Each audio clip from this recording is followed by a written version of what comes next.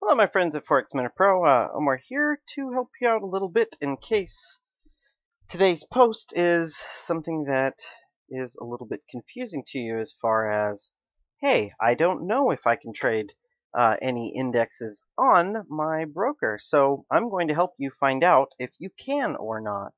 And in case you don't know about this feature on MetaTrader, you just might learn something new today.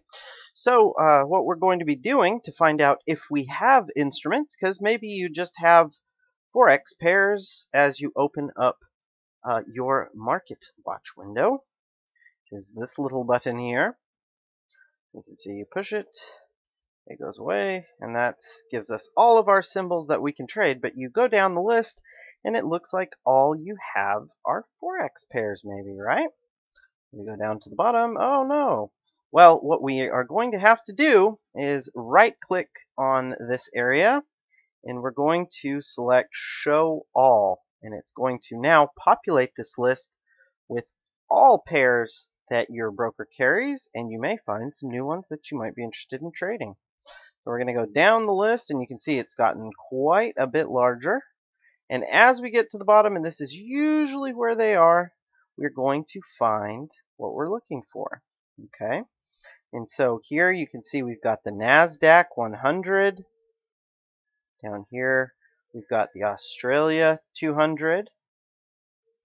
And as we go through, you'll see that there are uh, the FTSE is here, the CAC is here, we've even got Brent, and we've got the DAX, the S&P 500.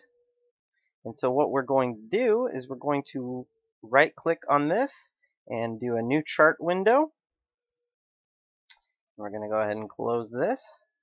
And now you have the DAX to trade uh, if that's something that's offered and you can start building your charts from here.